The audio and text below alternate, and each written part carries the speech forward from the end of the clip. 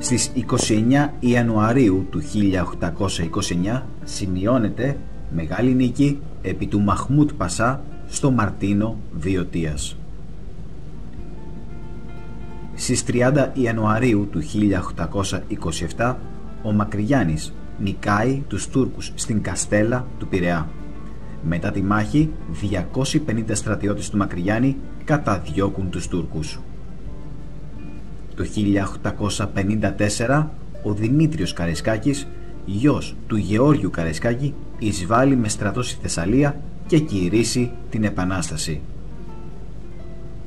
Ενώ, τέλος, το 1923 σαν σήμερα, μετά τη γενοκτονία των Ποντίων και τη μικρασιατική καταστροφή, υπογράφεται το σύμφωνο της ανταλλαγής πληθυσμών το οποίο στη συνέχεια κατέστη μέρος της συνθήκης της Ροζάνης της 24ης Ιουλίου του ίδιου έτους δυνάμει του άρθρου 142 της τελευταίας.